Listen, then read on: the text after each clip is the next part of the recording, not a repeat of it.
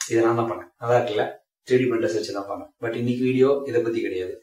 என்- இன்னைக்கு வீடியோ என்ன பார்த்தீங்கன்னா நம்ம கோயம்புத்தூர் கொஞ்ச நாள் முன்னாடி போயிருந்தோம். எதுக்காக அப்படின்னா ரா மெட்டீரியல்ஸ் எல்லாம் ஒரு மேனுஃபேக்சரிங் கம்பெனிலே போய் ஸ்ட்ரெயிட்டாக வாங்கிட்டு அவங்களோட ப்ராசஸ்லாம் என்னென்ன எப்படி இருக்கு அவங்களோட குவாலிட்டி எப்படி இம்ப்ரூவ் பண்றாங்க அப்படின்றதெல்லாம் காட்டலாம்னு தான் ஸோ இன்னைக்கு வீடியோக்குள்ள போகலாம் நம்ம ஏதாவது மாஸ்டர் பேஜ் வந்து மிக்ஸ் பண்ணோம்னா அந்த மெட்டீரியலையும் என்ன ரேஷியோல போடணுங்கிறது எங்களுக்கு ஒரு கணக்கு இருக்கு. அந்த ரேஷியோல போட்டு இருக்கிற மெட்டீரியல நாங்கள் போட்டு உள்ள போட்டோம்னா இந்த ரா மெட்டீரியல் உள்ள போயிடும் ஓகேங்களா? ரா மெட்டீரியல் உள்ள போய் போட்ட பிறகு இந்த ரா மெட்டீரியல் கூட மிக்ஸ் பண்ணதுக்கு இந்த மாதிரி மாஸ்டர் பேஜ்லாம் வச்சு கொஞ்சம் இந்த மாதிரி எல்லா கலர் மாஸ்டர் பேஜ் ஆனதா அது எல்லா colour red colour golden colour green white எல்லாமே இருக்குங்க. இதை எடுத்து நம்ம இதுக்கு என்ன ரேஷியோவோ அதுக்கு இந்த ரேஷியோ இந்த ஒயிட் வழக்கமா ஒரு கிலோக்கு அளவு எவ்வளவு போடுவீங்க? ஒரு கிலோவுக்கு அப்படிங்கிற இருபத்தஞ்சு கிலோவுக்கு நம்ம வந்து ஒரு நூத்தி ஐம்பது கிராம் போடுவோம் ஓ அதே ஃபுல் கலர் வந்துடும் அப்படியே. Master page okay master page விலை அதிகமான மாஸ்டர் ஓகே இதோட ரெண்டு மடங்கு ஆகிடுது இதை போட்டுட்டோம்னா நம்ம என்ன பண்ணணும்? மெட்டீரியல் வந்து இது வந்து மிக்ஸ் பண்ணி கொடுக்கணும். ஓகே மிக்ஸ் பண்ணி கொடுக்கணும்னா இப்போ நம்ம பாருங்க. மாதிரி mix பண்ணி- இந்த பேஜ் போடும்போது யூனிஃபார்மா அந்த மிக்சரோட அட்வான்டேஜ் என்னன்னா இதுக்கு மிக்ஸ் பண்ணாதான் நமக்கு யூனிஃபார்மா கலர்ஸ்லாம் வரும். இல்லை அப்படின்னா நம்ம கையில கலக்கினாலோ இது கலக்கினாலோ நமக்கு வந்து ஒரே இடத்துல அதிகமா மாஸ்க் பேஜ் ஒரே தரமா இருக்காது. ஒரு யூனிஃபார்மிட்டியான மிக்சர் கிடைக்கும். அப்படின்னா இந்த இந்த இருபத்தஞ்சு கிலோ நம்ம ஓட்டும் போது இருபத்தஞ்சு கிலோ ஒரே கலரா கிடைக்கும். இல்லைன்னா என்ன ஆகும்னா ஒரு பக்கம் நல்லா டார்க்கா இருக்கும் ஒரு பக்கம் வந்து டார்க்னஸ் இல்லாம இருக்கும். கலர் வேரியேஷன் வரும். இதுதான் டிஸ்அட்வான்டேஜ் அட்வான்டேஜஸ் என்னன்னா கலர் வேரியேஷன் வரணும்னா மிக்ஸ் மிக்சர் பண்ணிட்டு இந்த மிக்சர்ல இருந்து நேரா என்ன பண்றோம் மிஷினுக்கு நான் கேட்டேன் அதே வேக்யூம் பண்ணி இழுத்துரும் அப்படியே. வேக்கம் சுவிட்ச் இருக்கு. அதை போட்டு விட்டீங்கன்னா. கட கட கட கடன்னு போயிடும் மேல. ஓகே. ஒண்ணு வந்து வேக்கம்க்கு ஒண்ணு வந்து ஹீட் இதுல இருக்கு. ஆ ஓகே. இந்த மெட்டீரியல் மேல போன பிறகு உங்களுக்கு என்ன ஆகும்னா ப்ரீ ஹீட்டிங் பண்ணுவாங்க. ஓகே. ப்ரீ ஹீட் பண்ணுவாங்க. மிஷின்ல இருக்கு ஆ. அது எவ்வளவு டிகிரி செல்சியஸ்ல இருக்கும்? அறுபத்தஞ்சு டிகிரி செல்சியஸ் ஓகே அறுபத்தஞ்சு டிகிரி செல்சியஸ்ல வந்து நம்ம வந்து ஒரு ரெண்டு நேரம் ப்ரீ ஹீட்டிங் ஆகணும் ஓகே ப்ரீ ஹீட்டிங் ஆன உடனே இங்க என்ன பண்ணுவோம்? எல்லாம் ஆன் பண்ண கூட ஆன் ஓப்பனிங் ஓப்பன் பண்ணி விடுவோம் ம். ஓப்பன் பண்ண விட்டோட அந்த ஸ்க்ரூக்கு லோட் ஆகும். ஸ்க்ரூக்கு லோட் ஆனோடனே இங்க ஆல்ரெடி எல்லாமே கீட்டு போட்டிருக்கோம்.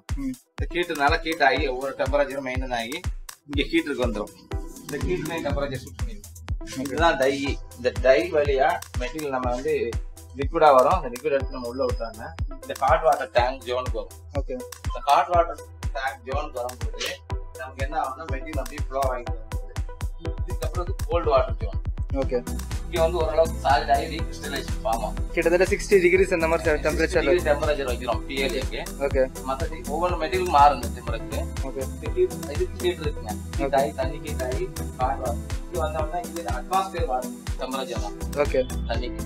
ஓகே இதுல வந்து கூல் வாட்டர்னு சொல்ல முடியாது. அட்மாஸ்பியர்ல என்ன டெம்பரேச்சர் இருக்கோ அந்த டெம்பரேச்சருக்கு தண்ணி போட்டு பாஸ் ஆகி இங்க வந்து அவங்க இந்த இடத்துல நம்ம மெட்டீரியல் உள்ள விட்டு பண்றோம். இங்க ஒரு ஏர் நாசில் வச்சிருக்கோம். இந்த ஏர் நாசிலுடைய ஃபங்க்ஷன் என்னன்னா இது மெஷர் பண்ணக்கூடிய பிஃபோர் இது மெஷர் பண்ண போறோம் இல்லைங்களா? இந்த மெஷர் பண்ணும்போது தண்ணின்னு இருக்கக்கூடாதுங்க. தண்ணி பூரா என்ன ஃபிலமெண்ட்ல இருந்து ரிமூவ் பண்ணும் வாட்டர் ஃபுல்லா ரிமூவ் பண்ணிட்டு அதுக்கு வாட்டர் ட்ரையான ஒரு ஃபிலமெண்ட் வரும்போது கரெக்டா மெஷர்மெண்ட் கிடைக்குது? அதாவது ஒன் பாயிண்ட் செவன் ஃபைவ் கரெக்டா வர மாதிரி. ஒன் பாயிண்ட் செவன் ஃபைவ் நம்ம என்ன ரேட்டிங் வைக்குமோ அது கிடைக்குது. இங்க ட்ரை பண்ணாலும் அப்படிதான் எரர் வரும். ம். ஆக்சுவலா அங்க ஒரு டைமென்ஷன் இருக்கும் தண்ணி வந்து ஒரு பார்ட்டிகள் கட்டினா அந்த சைஸ் பெருசா கட்டும். ஸோ நம்ம வந்து மேன் பதி வந்து எரர் இது விட்ட உடனே இது எக்ஸ்ட்ராக்ஷன் பண்ணாது ஓகே ஸ்டோன் வழியா விட்டோம்னா நமக்கு என்ன ஆகும்? ஃபிலமெண்ட் வெளியே வந்துங்க இதுல நம்ம இதுல அக்குமுலேட்டர் சொல்லுவாங்க இதை. அக்குமுலேட்டர் எதுக்கு வச்சிருக்கோம்னா ஆக்சுவலோட போய் நம்ம ஆஃப் பண்ண முடியாது. ஸ்கூல் சுத்தும் போது ஸ்கூல் முடிஞ்சிருச்சுன்னா அந்த ஸ்கூல் என்ன பண்றோம் இங்க ஒரு இங்க ஒண்ணு இருக்கும் இல்லையா? இந்த ஸ்கூல் விட்டுருங்க இங்க வந்து இந்த ஸ்கூல் சுத்தும் போது. ஸ்கூல் சுத்தி நம்ம முடிஞ்சிருச்சுன்னா இதை ஆஃப் பண்ணி இங்க இதை கட்டிங் பண்ணி எடுக்கணும். கட்டிங் பண்ணி எடுத்தா அந்த டைம்ல என்ன ஆகும் இந்த அக்குமுலேட்டர் அப்படியே அந்த மெட்டீரியல் வந்து ஃபார்வர்ட் பண்ணி கொண்டு போயிடும். நமக்கு அடுத்த ஸ்கூல் எடுத்துட்டு அடுத்த ஸ்கூல் போடும்போது எடுத்து மறுபடியும் உள்ள வைண்டிங் பண்ணோம்னா அங்க இருக்க அக்குமுலேட்டர் வந்து எவ்வளவு வைண்டிங் இருக்கோ அந்த அளவுக்கு வேகமா ஸ்பீடா கொண்டு வந்து மறுபடியும் எக்ஸ்ட்ரூடர் ஸ்பீடுக்காக ஆனா அது அதுல வெயிட் மிஷின் அப்படியே அதே மெஷர் பண்றோமா? ஒரு கிலோ வந்துச்சுன்னு நின்றுமா? ஒரு கிலோவுக்கு எவ்வளவு வெயிட்னு இருக்கு. ஆ ஓகே அது வந்தவொடனே ஆட்டோமேட்டிக்கா அதை ஓகே ஆட்டோமேட்டிக்கா நீங்க கட் பண்ணி கொடுத்துட்டு வேற ஸ்கூல் போட்டுருவீங்க. வேற ஸ்கூல்ல மாத்தி விட்டு மறுபடியும் ட்ரைனிங் பண்ணி விட்டா அதுல வந்து அந்த இடத்துல எடுத்துருக்கோம் அவங்க நம்ம வந்து எக்ஸ்ட்ரூடரை வந்து நிறுத்த வேண்டியது ஓகே அப்படி நிறுத்தினாலும் நம்மளால முடியாது. ஒரு நிமிஷத்துக்கு எவ்வளவு ஸ்பூல் ரெடி எவ்வளவு டைம் ஆகும் ஒரு ஸ்பூலுக்கு ஒரு ஸ்கூல் கிட்டத்தட்ட பதினஞ்சு நிமிஷம். பதினஞ்சு நிமிஷம் ஆகுமா? சரி சொன்னல ஒரு கம்பெனியோட ஓனருக்கு இவ்வளவு தெரிஞ்சிருக்கு. இவ்வளவு டெக்னிக்கல் இன்ஃபர்மேஷன் அவர் வச்சிருக்கிறதுனால தான் ஈஸியா என்னென்ன ப்ராப்ளம் மேனுஃபேக்சரிங்ல வருதுன்றதை கண்டுபிடிச்சு அதை சார்ட் அவுட் பண்றாரு.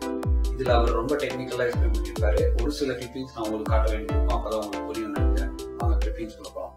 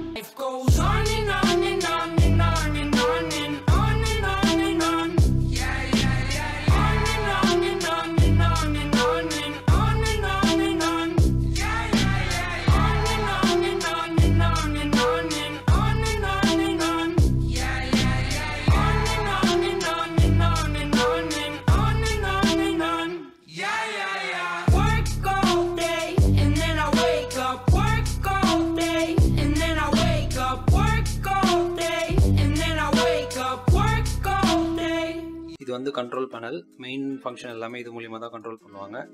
இது pre heater chamber raw material இருக்கிற ஈரப்பதத்தை எல்லாத்தையும் எடுக்கிறதுக்காக யூஸ் பண்ணுறது இது வந்து டை இது வழியாக தான் பிளாஸ்டிக் வந்து உருகி வெளியில் வரும். ஸோ அந்த வெளியில் வந்து பிளாஸ்டிக் வந்து கரெக்டான டயமீட்டரில் இருக்கிறதுக்கு நம்ம அதை சாலிட் மாற்றினா தான் நம்ம மெஷர் பண்ண முடியும். ஸோ அதை இருக வைக்கிறதுக்கு தண்ணியில் கூல் பண்ணுவாங்க. உடனே கூல் பண்ணக்கூடாதுன்னு சொல்லிட்டு ரெண்டு டிவிஷனாக வைப்பாங்க. ஒரு இது வந்து அறுபது டிகிரி சூடில் இருக்கும். இன்னொரு வந்து நார்மல் ரூம் டெம்பரேச்சரில் இருக்கிற டெம்பரேச்சரில் இருக்கும். ஸோ இந்த ஒயிட் கலர் பாக்ஸ் எதுக்குன்னா அதில் தண்ணியும் சேர்ந்து வந்துச்சுன்னா ரீடிங் தப்பு தப்பாக காட்டும். ஸோ அதனால் அதில் வந்து காற்று அனுப்புவாங்க. காற்று வந்து தண்ணி எல்லாத்தையும் க்ளீன் பண்ணிடும். இந்த டிவைஸ் பேர் வந்து அக்குமுலேட்டர் இது எதுக்காக யூஸ் பண்ணுறாங்க அப்படின்னா இப்போ ஒரு ஃபிலமெண்ட் மேனுஃபேக்சரிங் பண்ணிட்டு இருக்கும் போது இந்த ஃபிலமெண்ட் எல்லாமே ஒரு இடத்துல சேவ் பண்ணி வைப்பாங்க. எதுக்காகனா இப்போது ஒன் கேஜி வந்து சுற்றி முடிச்சாச்சு புதுசாக ஒரு ஸ்பூலை க்ரியேட் பண்ணணும் அப்படின்னா ஆப்ரேட்டர் வந்து ஏற்கனவே முடிஞ்ச ஸ்பூலை கட் பண்ணிவிட்டு புதுசாக இருக்கிறதுல வைன் பண்ண ஆரம்பிக்கணும். ஸோ அதுக்கு வந்து நம்ம மாஸ்டர் எக்ஸ்டியூஷன் வந்து நிப்பாட்ட முடியாது ஒவ்வொரு தடவையும். அதுக்கு பதிலாக இது வந்து ஒரு பஃபரிங் மாதிரி. ஸோ இவங்க இங்கே இந்த சைட் டிலே பண்ணாங்கன்னா இந்த ஆன் பண்ணி விட்டுட்டாங்க. அந்த டிலேவை காம்பன்சேட் பண்ணுற மாதிரி இது வந்து அந்த பக்கம் மூவ் ஆகிட்டே போகும். ஸோ எக்ஸ்பேண்ட் ஆகிட்டே இருக்கும்போது லென்த்து சேமாக இருக்கும். வர்ற ஃபிலமெண்ட்டை எக்ஸ்ட்ராவாக ஏற்றிக்கிட்டே போகும். அண்ட் எல்லாம் முடிஞ்சதுக்கப்புறமா திரும்ப பழையபடி ப்ராசஸ் ஸ்டார்ட் பண்ணுறதுக்கு இந்த மாதிரி ரிட்டர்ன் வந்துடும் ஸோ இது ரிட்டர்ன் வரும்போது ஆட்டோமேட்டிக்காக அந்த டயமீட்டர் சின்னதாகும். ஸோ மிச்சம் இருக்கிற ஃபிலமெண்ட் எல்லாம் அது இழுக்க ஆரம்பிச்சிடும் இந்த ப்ராசஸ் வந்து எதுக்காக அப்படின்னா ஃபிலமெண்ட்டை ஸ்கூலில் வந்து வைன் பண்ணும்போது ப்ராப்பராக வைன் பண்ணணும் ஒரே இடத்துலேயே வைன் பண்ணிகிட்டே இருந்தால் அந்த இடம் மட்டும் பெருசாக இருக்கும் மற்ற இடம் ஒழுங்காக இருக்காது. பார்க்க வந்து நான் ப்ராடக்ட் மாதிரி இருக்காது. ரொம்ப சும்மா லோ கிரேடடில் பண்ணுற மாதிரி தான் இருக்கும். ஜென்ரலாக நிறைய கம்பெனிஸில் வந்து இதை ப- பண்ணுவாங்க. ஃபிலமெண்ட் மேனுஃபேக்சரிங் கம்பெனிஸில் ஸோ இது வந்து அதோட ஆட்டோமேஷன்ஸ் தான். ஸோ அந்த த்ரெட் ராட் நவுந்து போகும்போது அது வைண்ட் பண்ணும்போது ப்ராப்பராக வைண்ட் ஆகிட்டே வரும். Uh, ஒன்ஸ் அந்த சென்சாரை ஹிட் ஆயிடுச்சு அப்படின்னா ஆன்டி கிளாக் வைஸில் ரொட்டேட் ஆக முடிச்சிடும் ஸோ இந்த சைடு நவர ஆரம்பிச்சிடும்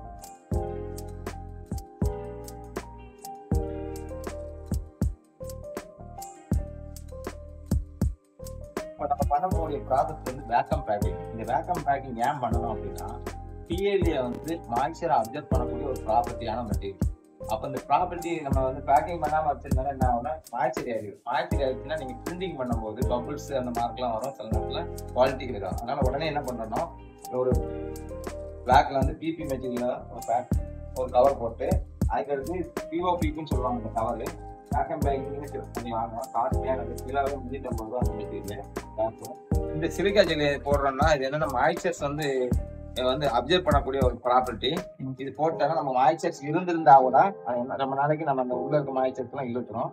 இப்போ நம்ம வந்து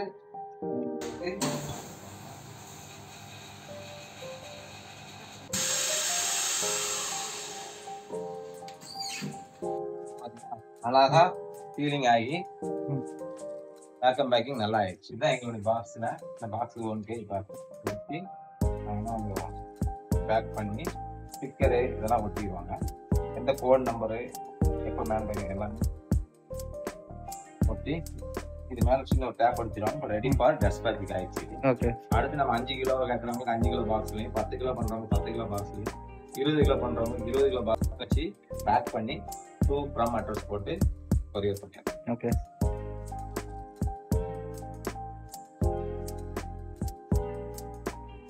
இப்ப இது வந்து நம்ம உள்ள ஸ்கூலு ஒன் கேஜி ஸ்கூலு இந்த ஒன் கேஜி ஸ்கூல் வந்து நம்ம பேக்கம் பேக்கிங் பண்ணியிருக்கோம். இதுல எத்தனை கலர்ஸ் இருக்கு பாத்தீங்கன்னா கிட்டத்தட்ட ஒரு பன்னெண்டு கலர்ஸ் மேனுஃபேக்சரிங் பண்ணிட்டு இருக்கோம் கிரீன் கலர் எல்லோ ஒயிட்டு அப்புறம் வந்து green golden colour silver colour நிறைய கலர்ஸ் இருக்கு. இது போக மிக்சர் கலர்ஸும் பண்ணிட்டு இருக்கிறோம். இது போகவே நம்ம லித்தோன்னு ஒன்று இருக்குது. அந்த பிரிண்டிங்லாம் பண்ணிருக்கோம் போட்டோ அது லித்தோ பண்ணிட்டு இருக்கோம். இது போக டிரான்ஸ்பரண்ட் கலர் டிரான்ஸ்பரண்டாக இருக்கு. டிரான்ஸ்பரண்ட் கலர்ஸும் நிறைய இருக்கு. பண்ணிட்டு அப்புறம் பயோ பெட்னு சொல்லி ஒன்று இன்ட்ரடியூஸ் பண்ணிருக்கோம். அது வந்து நல்லா அருமையா இருக்குன்னு சொல்லி எல்லா கஸ்டமர்ஸ் சொல்லியிருக்கிறாங்க. அதான் எங்களுடைய நியூ ப்ராடக்ட் லாஸ்டா டெவலப் பண்ண ப்ராடக்ட் அதுல பாத்தீங்கன்னா மெட்டீரியல் வந்து நிறைய ஒரு காஸ்ட்லியான மெட்டீரியல்ல பண்றோம். ஆனா பட் நல்ல குவாலிட்டியா இருக்கிறதுனால அது வந்து எங்களுடைய கம்பெனி சீக்ரெட் ஆஃப் மெட்டீரியல் மாதிரி வர வச்சிருக்கோம் அந்த மெட்டீரியல் வந்து நல்லா அவங்களுக்கு யூஸ் பண்ணீங்கன்னா டென்த் வந்து பீச் பெட்டுக்கு ஈக்குவலாட்டா இருக்கும். ஆனா பிஎல்ஏ மெட்டீரியல் நீங்க சேம் பிஎல்ஏ எல்லாம் யூஸ் பண்ணிக்கலாம். அட்மாஸ்பியர் இது என்விரான்மெண்ட் எல்லாம் கெடாம இருக்கிறதுக்கு தான் நம்ம பிஎல்ஏக்கே போகலாம் ஏன்னா நமக்கு ஸ்மெல் வராது தான் ப்ராப்ளம் அதனால அந்த பிஎல்ஏ வந்து உங்களுக்கு ரொம்ப யூஸ்ஃபுல்லா இருக்கும். அடுத்து மாடிங்கி நம்ம ஒரு டெவலப்மெண்ட் வந்து ஏபிஎஸ் பண்ணிட்டு இருக்கோம். இப்போ அடுத்தது பயோபெட்லையும் இப்போ நம்ம ஆர்என்டி முடிஞ்சு இப்போ வந்து விற்பனைக்கு வந்து கஸ்டமருடைய சாட்டிஸ்ஃபேக்ஷன் நல்லா இருக்குன்னு சொல்லி அந்த ப்ராடக்ட் வந்து பேர் வாங்கியிருக்குது. இதை தொடர்ந்து நாங்கள் அடுத்து பண்ண போகிறது வந்து ஏபிஎஸ் பண்ணி ஏபிஎஸ் பண்ண போறோம். அதுக்கடுத்து இண்டஸ்ட்ரியல் ஃபோர் பாயிண்ட் ஓ பிரிண்டர்ஸை வந்து இன்ட்ரடியூஸ் பண்ணலான்னு இருக்கிறோம் இப்போ எங்க கம்பெனில அந்த பிரிண்டரிக்கும் நம்ம இந்த பிளமெண்ட் நம்ம யூஸ் பண்ணா நல்லா மேட்ச் ஆகுது அப்படின்னு கஸ்டமர் சொல்லியிருக்காங்க. இந்த பிரிண்டரையும் நாங்கள் கூடிய சீக்கிரத்துல எங்க கம்பெனி என்னுடைய மூலமா சீக்கிரம் இன்ட்ரடியூஸ் பண்ண போறோம். அதுக்கு நீங்க எங்களோட ஆதரவு தொடர்ந்து கொடுக்கணும்னு நான் இப்போ இந்த காட்ட போறது வந்து ஒரு நியூ ப்ராடக்ட் டெவலப் பண்ணியிருக்கோம். இது வேற மிஷின்ல ஓட்டுறோம். இந்த மிஷின் கிடையாது. இது வந்து ஒரு எங்களுடைய டைவர்சிஃபிகேஷன் சொல்லுவாங்க ஃபீல்டு பிஎல்ஏ பண்ணிட்டு இருக்கோம். இது கூடயே இது வந்து பிபி மெட்டீரியல்ல பண்றோம். பிபி வந்து வெல்டிங் ராடுன்னு சொல்லுவாங்க. இப்போ நீங்க எப்படி நம்ம எம்எஸ் எல்லாம் வெல்ட் அடிக்கிறாங்களோ அது மாதிரி ஃபேப்ரிகேஷன் பண்ணிட்டு இருப்பாங்க. நிறைய பிளாஸ்டிக் டேங்கு அது இதெல்லாம் ஃபேப்ரிகேஷன் பண்ணிட்டு இருப்பாங்க. அதில் ஒரு ப்ரொஜெக்ஷன்லாம் வந்து எக்ஸ்ட்ரா பண்ணணும் அப்படின்னா அதெல்லாம் வந்து வந்து இந்த மாதிரி வெல்டிங்ல தான் பண்ணுவாங்க. இந்த வெல்டிங் ராடை நாங்கள் இன்ட்ரடியூஸ் பண்ணியிருக்கோம். இந்த வெல்டிங் ராடுமே இந்த ஃபிலமெண்ட் மாதிரி தான் அக்யூரேசியானது மைக்ரான் வந்து முப்பது மைக்ரான் நாற்பது மைக்ரான் தான் இதுவும் ஓட்ட முடியும். இந்த இந்த பிலமெண்ட் இப்போ தான் நம்ம இன்ட்ரடியூஸ் பண்ணியிருக்கோம். இதுதான் நம்ம ஓட்டி மார்க்கெட்டிங் கொண்டு வர போறோம் இனிமே. இதுக்கு நீங்க ஆதரவு தரலாம் யாராருக்கெல்லாம் வெல்- இது வந்து எத்தனை மைக்லாம் four point five MM four MM ஓட்டலாம் த்ரீ எம்எம் ஓட்டலாம். ஏன்? ஒரு எம்எம்ல இருந்தோட இதை வந்து அஞ்சு எம்எம் வரைக்கும் நம்ம இந்த வெல்டிங் ராடை நம்ம ரிலீஸ் பண்ணலாம். அவங்க அவங்க ஸ்டாண்டர்டுக்கு தகுந்த மாதிரி கேட்டு வாங்கலாம். இது இப்போ தான் மார்க்கெட்டிங் வந்து ஸ்டார்ட் பண்றோம். ஓட்டி பார்த்தாச்சு ட்ரையல் டெக்னாலஜி சக்ஸஸ் ஆயிருக்கு இது நம்ம தமிழ் இந்தியாவில் ரொம்ப குறுகிய கம்பெனிகள் தான் ஓட்டுறாங்க. இந்த டேலண்ட்ஸ் அச்சீவ் பண்ண முடியாததுனால நிறைய பேர் இந்த ஃபீல்டை விட்டு போயிட்டாங்க. நாங்கள் ரொம்ப நிறைய ஆர்என்டி பண்ணி இப்போ வந்து இந்த டேலண்ட்ஸ் நாங்கள் அச்சீவ் பண்ணியிருக்கோம். ஒரு கம்பெனிக்காரங்க எங்களுக்கு அப்ரூவ்டே கொடுத்துட்டாங்க. அவங்க குவாலிட்டி கண்ட்ரோல்ல இருந்து. இந்த ப்ராடக்ட் வந்து நல்லா இருக்குது. நீங்க நல்லா டெவலப் பண்ண நன்றி. கூட எங்களுக்கு தேங்க்ஸ் சொல்லியிருக்காங்க. நீ எங்களுக்கு உங்களுக்கு எந்த மாதிரி யாராவது வெல்டிங் அடிக்கிறதுக்கு இதெல்லாம் வேணும் பிபி வேணும்னு பிபி மட்டும் இல்ல ஹெச்டிபி எல்லாம் இருக்கு. எல்லாமே பண்ணலாம் வெல்டிங் அந்த மாதிரி மெட்டீரியல் மட்டும் தான் மாத்தணும். இந்த ஒன் எம்எம்ல இருந்து அஞ்சு எம்எம் டயமீட்டர் வரைக்கும் எல்லா பிளாஸ்டிக் மெட்டீரியலையும் நம்ம பண்ண போறோம் அப்படிங்கறதை இந்த தெரியப்படுத்திக்கிறோம்.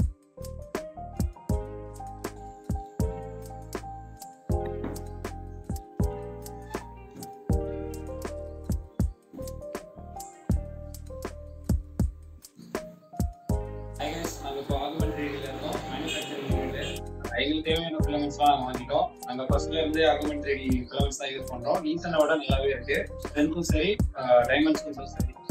அண்ட் உங்களுக்கு தேவையான ஃபிலமெண்ட்ஸ் நீங்கள் உங்கள் வெப்சைட்டில் வாங்கிக்கலாம். டோட்டல் டுவெல் கலர்ஸ் கிட்ட இருக்கு. அது போக டிஎல் மாதிரி ஏஜென்ஸும் பண்ண ஆரம்பிச்சிட்டாங்க. பயோஃபைட்டும் பண்ண ஆரம்பிச்சிட்டாங்க. ஃபியூச்சர்ல இன்னும் நிறைய மெட்டீரியல்ஸ் வரும். உங்களுக்கு தேவையான ஃபிலமெண்ட்ஸை வாங்கிட்டு அதுக்குண்டான ஃபைவ் பர்சன்ட் டிஸ்கவுண்ட்டை ப்ரோமோ கோட் யூஸ் பண்ணி நீங்கள் வாங்கி